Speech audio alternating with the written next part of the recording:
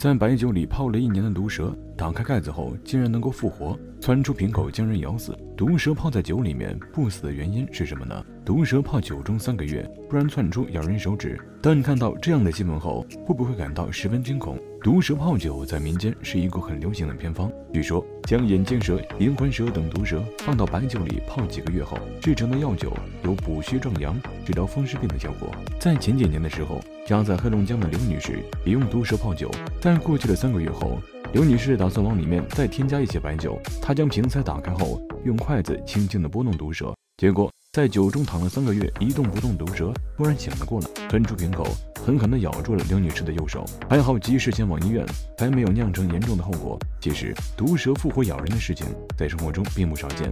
二零零九年。生活在武汉的张先生，在听说了蛇酒的功效后，便想自己尝试酿毒酒。在买了一条毒蛇后，他便将蛇放进了事先准备好的白酒中。等到两个月以后，张先生将酿酒的瓶子打开，打算尝一尝自己酿的蛇酒。结果打开瓶子后，毒蛇竟然动了起来，狠狠地咬了张先生一口。二零零一年，广西的一位村民泡蛇酒一年后，在打开盖子准备倒酒的时候，没想到酒缸中的眼镜蛇居然复活了，并且咬了这位村民一口。被咬的村民浑身僵硬。不幸的是，由于这条眼镜蛇的毒性很强，再加上家人没有及时的将村民送往医院进行治疗，被咬的村民就这么失去了自己的生命。按理来说，白酒的酒精度数很高，将毒蛇放进白酒里后，毒蛇应该没有生还的可能性。那为什么生活中还是有那么多毒蛇复活将人咬伤的事情发生呢？其实这其中主要分成两个原因。我们接着往下看。毒蛇泡进白酒里一年，竟然没死。打开盖子的一瞬间，窜出酒缸，将村民咬死。毒蛇为什么还能存活呢？难道白酒对它没有效果吗？上面的案例中，我们提到有一位武汉的张先生，在泡蛇酒两个月后。打开瓶盖，结果不小心被毒蛇咬伤了。张先生对此十分不理解。之后，他还特意找到了工商局投诉，提出是不是白酒有质量问题。但根据工商人员的调查后发现，白酒没有任何质量问题，问题主要出在张先生的酿酒方法上。首先，我们要知道，一般在泡制蛇酒的时候，往往还会在酒中。加入各种中药材，而在移动酒瓶的过程中，或者泡酒的时候没有注意，恰好将舌头不在这些药材的上面，舌头没有被浸泡在白酒中，蛇自然就不会死。其次就是毒蛇自身有十分神奇的自我保护机制，蛇是一种变温动物，身体的体温可以随着环境的变化而改变，因此它们不用消耗自身能量来维持自身的体温，它们每年只要吃饱两三次就可以维持一年的生存。也就是说，在没有消耗任何能量的情况下。靠着冬眠的方法，蛇就可以不吃不喝活一年。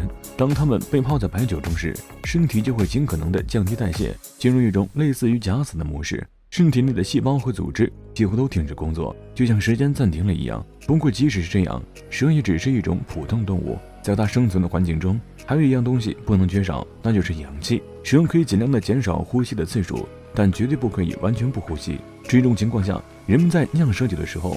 没有密封好酒缸，就给了毒蛇可乘之机。像是那位武汉的张先生，就是因为没有用纱布或者塑料袋将玻璃瓶塞捆好，才让空气可以正常的进入酒瓶，并且这位张先生在泡酒的时候，只往酒缸中添了半瓶酒，没有将酒瓶中的空气排干净，最终才造成了这种毒蛇复活的悲剧。八条毒蛇泡酒二十二年，喝上一口却让人中毒，蛇酒究竟是能治病的良药，还是要人命的毒药呢？二零一四年，南昌的先生。打开了自家酿了二十二年的蛇酒，没成想在喝了一杯之后，他就感觉眼前模糊，看不清东西，直到几个小时以后才恢复。季先生不明白，这明明是打着强身健体的蛇酒，为何差点要掉自己的性命呢？其实，对于泡制蛇酒这个过程中，有很多需要注意的问题。首先就是蛇本身，一般普通人在泡制蛇酒的过程中，很少对蛇进行彻底的消毒，在蛇的身上可能存在大量的微生物。此外，蛇的肠道内有大量的微生物，如果在泡制的过程中没有密封好，让瓶子中进入了氧气，微生物接触到氧气后大量繁衍，加速了蛇身体的腐败，那么好好的蛇酒就很有可能变成蛇尸酒。因此，为了自身的安全，在自己泡制蛇酒的过程中，首先要千万检查好盖子是否完全密封，白酒有没有灌满整个瓶子，毒蛇的头有没有完全沉入酒中。其次，在选择白酒的时候，一定要选择高度白酒，这样才能有效的杀死病菌，并且将毒蛇自身携带的蛇毒溶解。